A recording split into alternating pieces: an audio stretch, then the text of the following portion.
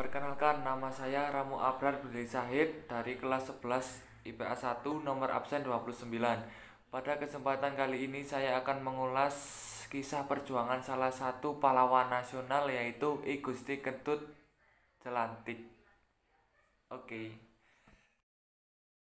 Bentuk perjuangan I Gusti Ketut Jelantik adalah melawan upaya Belanda menaklukkan Pulau Bali.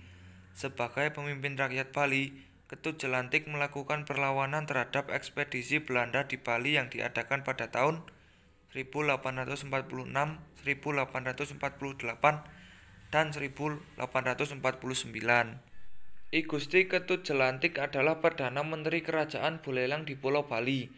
Saat itu, Belanda sedang giat berupaya menguasai seluruh wilayah di Indonesia karena sumber daya yang kaya dan juga untuk mencegah negara Eropa lain menjadi pesaingnya. Sebagai alasan penyerangan terhadap Bali, Belanda menggunakan alasan praktik tawan karang, yaitu adat Bali di mana kapal yang karam di Bali menjadi hak raja setempat. Belanda juga menuntut raja-raja Bali termasuk Buleleng untuk tunduk kepada pemerintahan Hindia Belanda. Namun tuntutan ini ditolak. Pada tahun 1846, Ketut Jelantik melawan pasukan Belanda yang menyerang di benteng Jagaraga. Pada pertempuran ini, Belanda gagal mengalahkan pasukan Bali. Perlawanannya berakhir setelah dia kalah perang akibat serangan Belanda pada tahun 1849 yang dibantu oleh tembakan meriam dari kapal Belanda.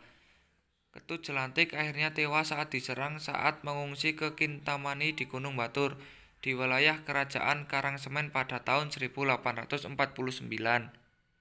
Atas jasanya melawan penjajah Belanda, I Gusti Ketut Jelantik diberikan penghargaan oleh pemerintah Indonesia dengan gelar pahlawan nasional.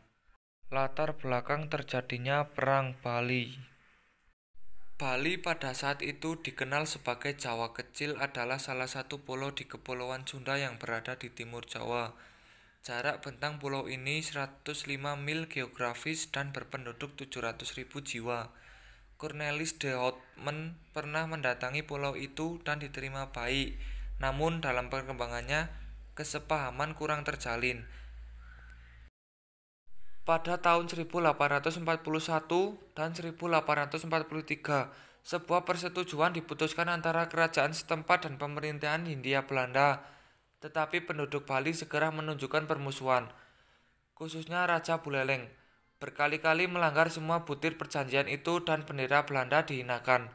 Sehingga atas tanggung jawabnya, ia harus mengalah atas sikap aroganisnya. Dan pemerintahan tidak dapat membiarkannya karena daerah lain juga akan menunjukkan tanda-tanda perlawanan. Sekian video dari saya. Jangan lupa like, komen, subscribe. Terima kasih. Wassalamualaikum warahmatullahi wabarakatuh.